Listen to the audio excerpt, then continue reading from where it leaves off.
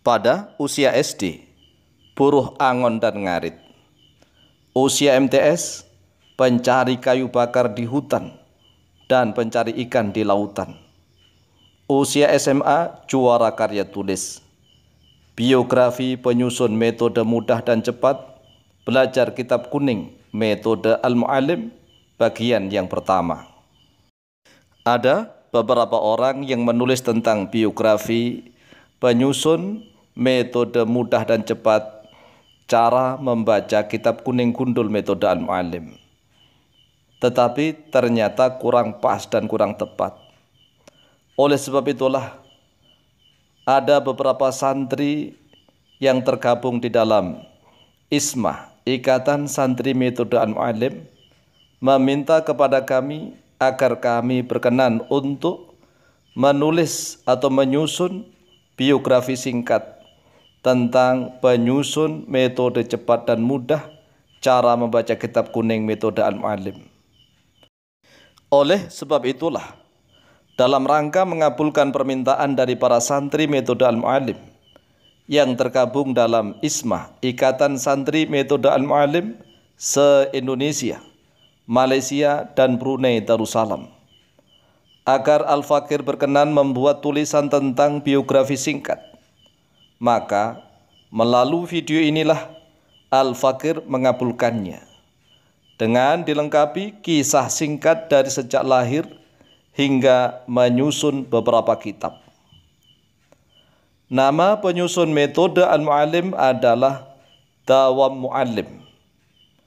Menurut cerita, dari emaknya bahwa nama Dawam Alim diberikan oleh beberapa kiai dan kakek dari jalur emaknya.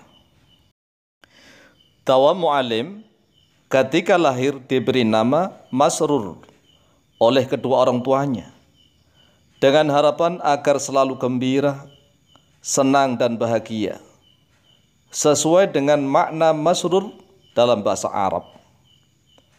Tetapi pada kenyataannya, dia selalu menangis mulai menjelang maghrib hingga tengah malam.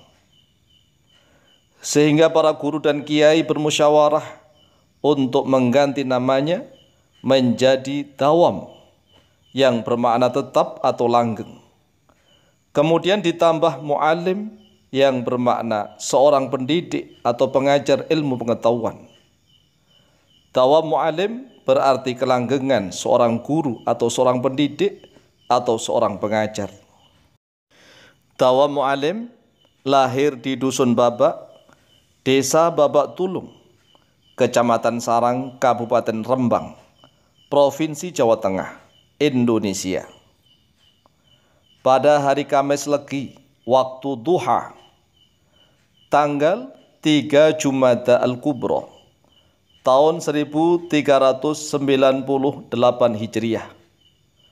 Bertepatan dengan tanggal 11 Mei tahun 1978 Masehi.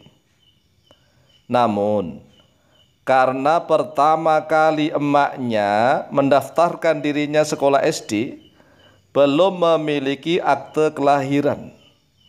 Dan emaknya hanya hafal hari lahir tanggal dan tahun hijriahnya saja.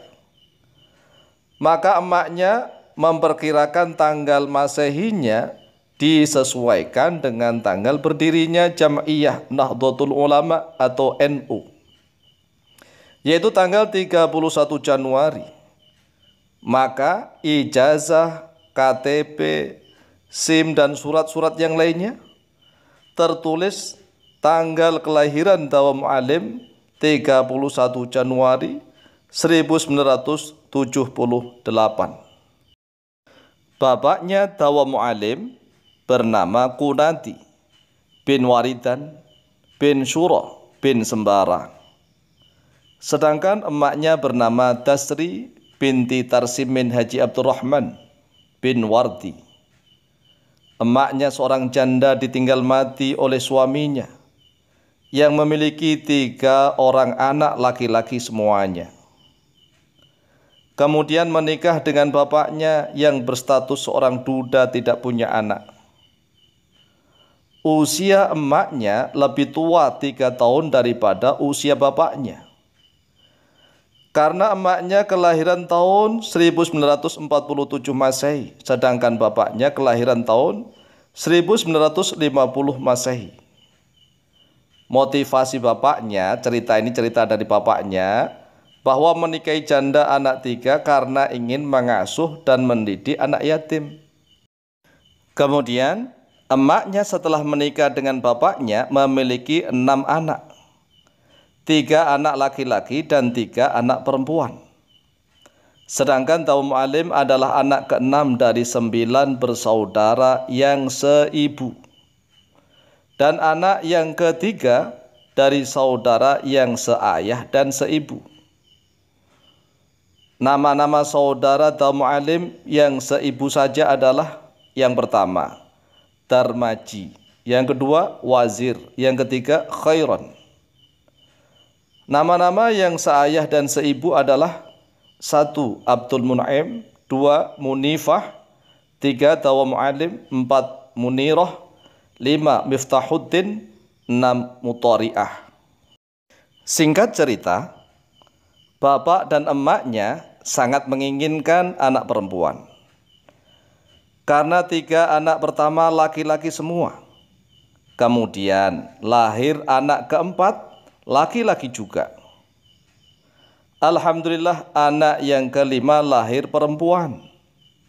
Akan tetapi, belum genap dua tahun bergembira atas kelahiran anak perempuan, tiba-tiba sudah lahir lagi anak laki-laki yang diberi nama Masrur.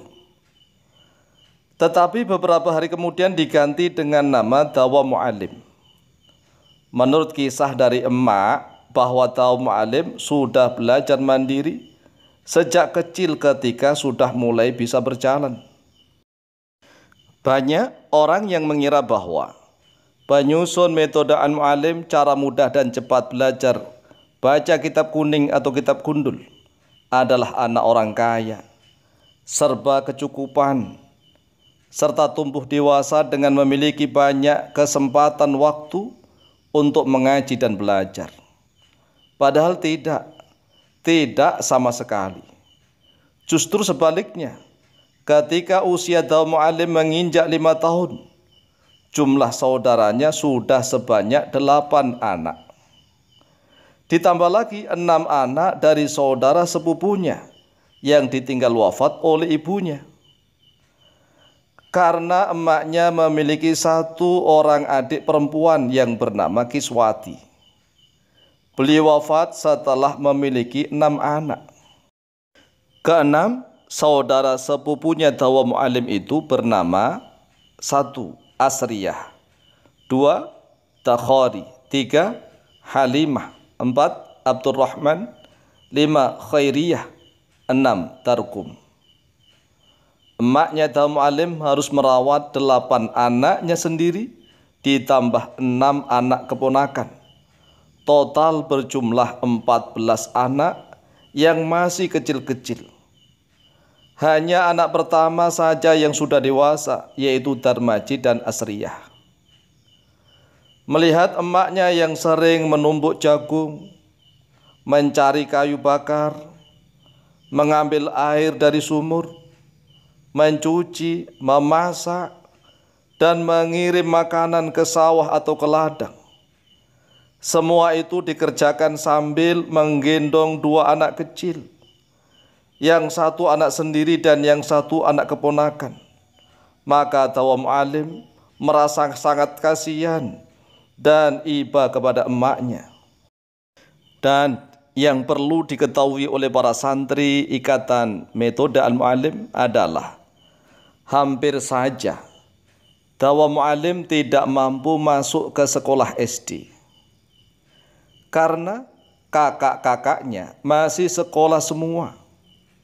Namun Taum Alim tetap semangat belajar di sekolah madrasah sore bernama Madrasah Tariqul Huda di dusunnya. Kebetulan bapaknya ketika itu juga masih aktif mengajar di madrasah tersebut bidang ilmu bahasa Arab dasar, Roksun Sirah. Kakak tertuanya yang bernama Darmaji terpaksa harus berhenti sekolah dari Madrasah Ghazaliyah Syafi'iyah atau disingkat MGS Sarang karena kedua orang tuanya tidak memiliki biaya. Kemudian Darmaji menikah dengan gadis tetangga bernama Nafsiyah, menempati satu bagian rumah berlokasi di tanah kelahiran Tawa Mu'alim. Karena tanahnya itu memang peninggalan dari bapaknya Darmaji. Sedangkan rumah kedua orang tuanya berpindah lokasi menempati tanah peninggalan kakek dari sang emaknya. Sebelum masuk sekolah SD, Dawa Mu'alim sudah khatam ngaji Al-Quran sebanyak dua kali. Pertama khatam Al-Quran ngaji di hadapan kakak tertuanya sendiri yaitu Ustadz Darmaji. Kemudian khatam kedua ngaji di hadapan Ki Haji Zubaidi Khalil bin Mansur. Ketika Dawa Mu'alim sudah kelas 2 madrasah sore, namun masih belum juga masuk sekolah SD. Mengapa? karena kedua orang tuanya tidak memiliki biaya untuk membeli sepatu dan seragam sekolah. Maka Tawa Mu'alim meminta izin kepada kedua orang tuanya untuk menjadi buruh gembala sapi dan tukang ngarit di rumah kakak tertuanya yang sekaligus menjadi guru ngajinya itu. Kemudian dengan berat hati dan meneteskan air mata, Kedua orang tuanya terpaksa memberi izin anak sekecil itu harus menjadi buruh gembala sapi dan tukang ngarit mencari rumput. Akhirnya, Dawa Mu'alim bisa daftar sekolah SD diantar oleh emaknya yang ketika itu juga mendaftarkan salah satu keponakannya yang bernama Khairiyah. Pada tahun ajaran 1985 1986 Masehi Sekolah Dasar Negeri Babak Tulung 1 Insya Allah kisahnya akan dilanjutkan di dalam bagian yang kedua